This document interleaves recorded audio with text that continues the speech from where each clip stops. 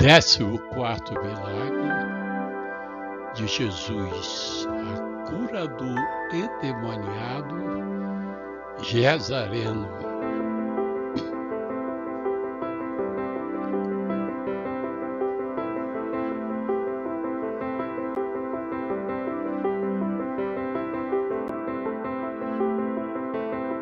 Décimo quarto milagre de Jesus, a cura do endemoniado.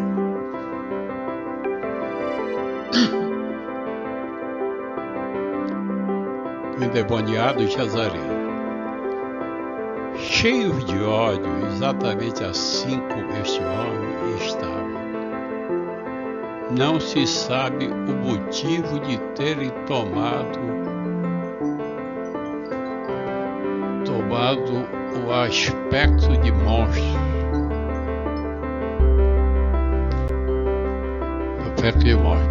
A verdade é que eles viviam isolados nas montanhas e com uma fama que eu deixaria cada vez mais abandonada.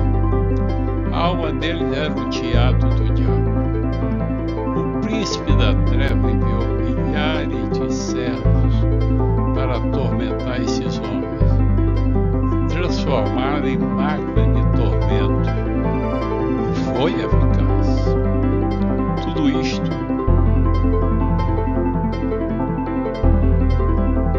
Alterado quando Jesus chega à presença do Filho de Deus. Causa estranheza e assombro dos demônios. Jesus ordena a ele: ficam quietos. Eles pedem permissão para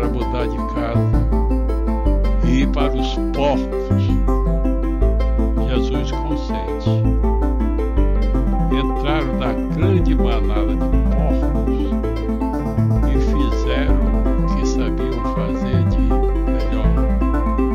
Destruíram lá